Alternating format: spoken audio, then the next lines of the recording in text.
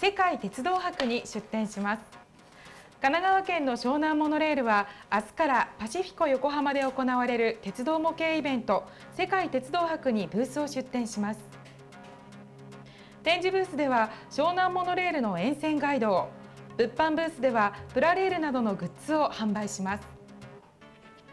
今週は湘南モノレールの大渡秀夫社長にお越しいただきました。よろしくお願いします。どうぞよろしくお願いし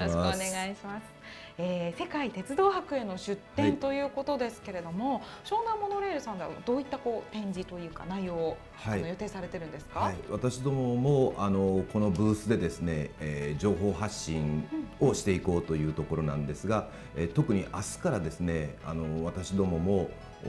この夏休みの夏休み中の企画として、うん、えフォトコンテストをですね、はい、えー、はい、うん、やりますのでそのフォトコンテストの内容をですね中心にしながら、えー、情報発信をしていこうと。思っております。じゃ湘南モノレールではこの夏このフォトコンテストが、はい、一押しの目玉企画となってるわけなんですね。はい、どどういった内容にあこちらポスターもいただきましたけども。あのまずフォトコンテストにですね何らかの湘南の夏というテーマでの写真で応募をいただきます。はいその応募をいただいた方々に、えー、我々あのおお一人、えー、2枚のですね、はい、フリーチケットをえフリー切符もらえるんですか、はい、本当だ。お配りするというところでして、えー、えー、そのおフリー切符を持ってですね、うんうん、えー、ぜひ、えー今度はモノレールに乗って、またあの沿線をですねいろいろと探索いただいてでその上でまた写真を撮ってですねそこでまたフォトコンテストに何度も足を運んでいただいて、はい、結構テーマが湘南の夏ってこう、はい、ざっくりしてるけど、はい、これモノレール映ってないとダメなんですいやいや全然全然もうまさに。あ何でもいいですか？はい何でもありなんですか、お任せしますそこは。これじゃ夏っぽい湘南の夏っぽいの撮ったらフリーチケットもらえるってことですよね？まあまあ現地でえー、すごい、ね大丈夫なんですか？大丈夫ですいやだってだって結局ねあの、はいで、まあ、地元に来てもらおうは分かるけど、結局そこでフリーパス上げちゃったら、はい、なんだろう大船なり江ノ島なりに行く JR さんや小田急さんは儲かるけど湘南モノレールは1円も儲かってないですねフリーフリー切符フリー切符そうですね。あの、まあ、そういった意味では、うん、あのまあ、フリー切符で、うん、えー、まあ、皆さんにですねぜひあのこの夏休みの期間中、うん、えー、この楽しい乗り物のモノレールを、まあ、体験していただきたいなということと、そのモノレール沿線のですね、えー、山里ですとかいろいろなあの素晴らしいお店がありますので、まあ、そういったところをですねぜひ、えー、まず体験していただいてであの体験していただくと私はあのもう一度来ようと思っていただけると思いますので、うん、がおすすめする、はい、はい、い、や確かに鎌倉とかそのまあ江ノ島有名な観光地じゃないですか、はい。はい、モノレールに乗っていくパターンってもしかしたらねまだ少ないかもしれませんから、これを機会にね、あこういうルートもあるんだっていうのを使ってもらえたら嬉しいですよね。ええー、いやフリーチケットじゃないですか。思いっきり思いっきりね。いやいや単純にあの、はい、まあ鉄道ファン的にはまあ面白い乗り物ではあることは分かってるし、はい、なんて言ったら、ね、まあまあ吊り下げ式とかみんなそういうとこ言うんですけど、僕の中ではまず乗ってびっくりするのが、はい、単線っていうね、はいはい、モノレールで単線だから、途中の駅で行き違いで交換するのに停車時間待ちしたりとかするんで。はいあ単線だったんだみたいな感じで驚きあるし、はい、あとあの辺すごい地形が複雑だから、はい、こういや普通上でこうぶら下がってるから高いとこ通ってるなと思うけど、切り通しみたいなとこあったりとかね、はい、トンネルありましたっけ、はい、トンネルが2つあります。よね、はい、かなりのあのアップダウンがありますし。はい。そうだからそういうのにびっくりしてね、はい、ぶら下がってんのにトンネル行くんだっていう。感じがねそれこそね乗り物としてもじゃあ面白いというか、はい、あのまあジェットコースター感覚のようなところをですね味わえる箇所も私どもの深沢からですね江ノ島の10分間ぐらいの間の中にありますので、はい。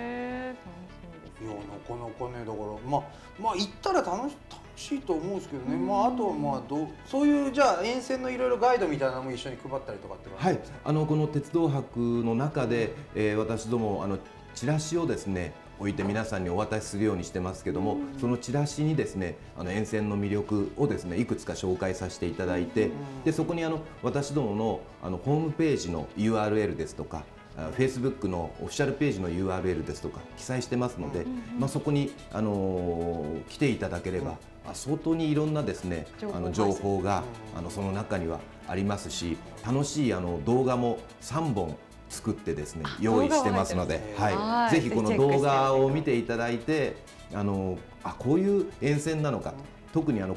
あの地域を知っていただくのにえー、鎌倉山とかですねかなりスケールのでかい自然がありますので、うん、我々は今回それをドローンで空撮してですね、えー、力入ってますねあのなかなかですねそういう形じゃないと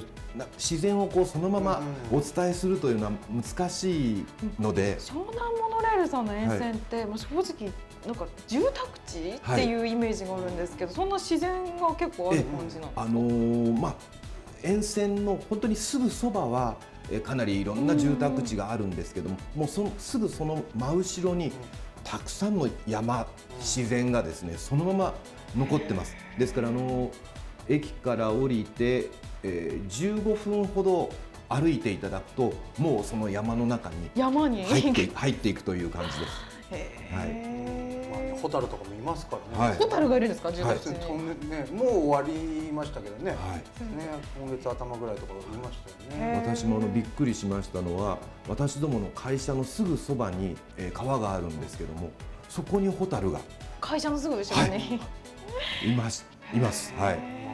でそういうのも今回のこの、まあ、チケットを、はい、あのフォトコンテストからチケットを渡すことであるとか、はい、あとまあ以前ちょっと前にあのなんだろう、えー、音鉄のイベントをやったりしたじゃない。ですか、配信になる車両で、はい、あのコンプレッサーの音通るみたいなイベントとか、なんかあれですかなんか急にこんな感じでごめんなさい、ね、言い方おかしいですけど 変なイベントいっぱい始めた気がするんですけどやっぱあれですかこの前ねニュースでもちょっとこの番組でも触れたんですけど、経営体制がいろいろ変わったみたいな感じが、去年の秋ぐらいでしたっけ、あってやっぱその辺から何かいろいろ変えていこうみたいな流れなんですか？はいそうですね。あの昨年の6月に、えーまあ、株主が、うん、変わりまして、えその後私もあの10月1日に、あのまあ、社長に就任しましてですね、はい、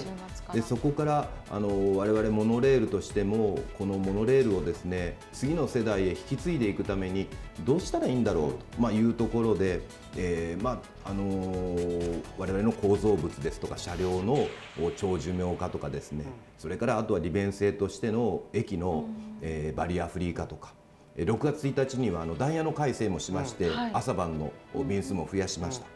でその上でやはりあの楽しい乗り物だよという乗り物のこととそれからあのその沿線が本当に魅力的な沿線だよということをですね、あの情報発信をしていきたいということでですねあのかなりあの変わってきたんじゃないかなというふうに思います。はい、結構イベントにもねあの、はい、参加されてますもんね。そうですね。はい。なるほど。どうですか？この夏休みとかそれで他にフォトコンテスト以外のイベントあったりするんですか？はいあの、まあ、そのフォトコンテストで、えーまあ、フリー切符をお渡しして来ていただく、うん、でその中であの例えばモノレールのいろんな職場体験をですね、うん、していただきたいと思って、はい、えー、駅長体験ですとか、うん、車掌体験ですとか、それからあの我々の指令室を見ていただくですとか、うん、えー、我々の基地をまたあの、うん、での点検だとかそういったものを見ていただく体験していただくというようなこととあとあの私どもボーリング場が持ってましてですね、はい、そこにあのプロボーラーがいますので、うん、えー、そのプロボーラーの方プロボーラーと一緒にあのお子様にボーリングをまた楽しんでいただくとかですね、そういうあの体験型のものもいくつかあの準備してですね、夏休み期間中ずっとそういったことをやっていきたいなまさにこれからね夏休みのお子さん、あと家族みんなで楽しめそうなイベントですね。はい、はい、それでは、えー、最後に、えー、大渡社長から全国の鉄道ファンの皆さんにメッセージをお願いします。はい、あの私どもは、えー、鎌倉市の大船と藤沢市の江ノ島を結ぶ6.6キロのモノレールでございます。乗り物としてもあの楽しい乗り物だと思いますし沿線にはですねたくさんの魅力がありますあの山里もあります、えー、都内から1時間ほどで、えー、山も海もあの楽しめる素晴らしい湘南の土地だと思いますので、えー、ぜひこの夏休み、えー、ご家族で、えー、ご友人と皆さんであのお越しいただければと思います。はい。フォトコンテスト明日からですよね、はい、ぜひ2度3度足を運んでいただければと思います、はい、今週のゲストは湘南モノレールの小渡秀夫社長でした。どうもありがとうございました、ありがとうございました